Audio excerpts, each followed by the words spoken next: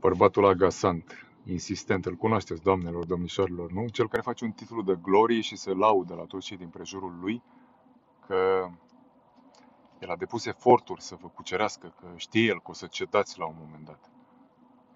Mai și spune legenda că ambiguitatea voastră înseamnă un da pe jumătate, un nu al vostru e un da sigur și un da înseamnă că poate să vi se urce în cap. Are legende urbane în cap.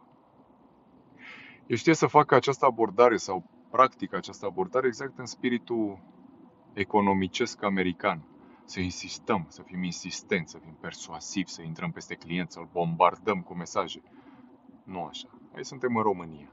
E simplu. E o dată clar, tare și răspicat. Dacă femeia zice nu, e nu. E la revedere. Paflă că te pup.